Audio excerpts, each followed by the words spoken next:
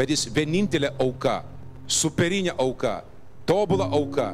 Viena auka jis padarė tobulus teisumo prasme, šventinamuosius. Tos valios dėka.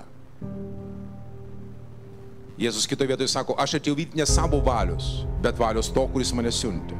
O mano siuntėjo valia, kad kiekvienas, kuris regi sūnų ir jį tiki, nepražūtų, bet turėtų amžiną zoje, amžiną gyvenimą. Kodėl aš tiek jums pabrėžiu šitą valią, Valero? Klausykit, čia yra Dievo sumanimas. Čia Dievo kryptis.